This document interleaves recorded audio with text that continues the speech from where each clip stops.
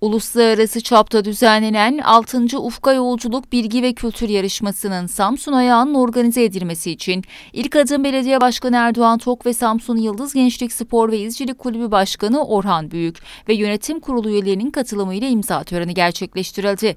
Samsun'un bütün ilçelerinde tanıtımı yapılan yarışma bu yıl Kur'an ve sünnet bütünlüğü konulu ve sünnet olmadan ümmet olmaz temasıyla 3 dil ve 11 ayrı kategoride düzenlenecek. Engeller ve mahkum mahkumların da yarıştığı yarışmada 7'den 70'e 8 milyar insanlığın istifadesine sunulacak.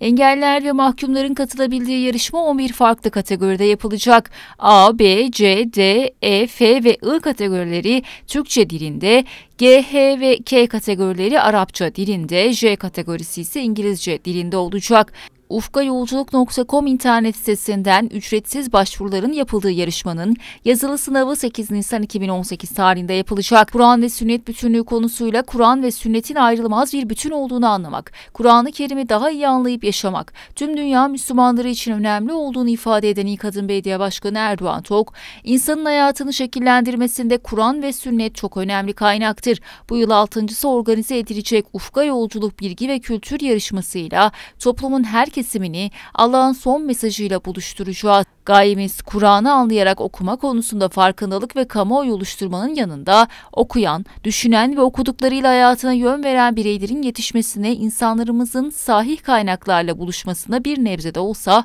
katkı sağlamak olacaktır diye konuştu.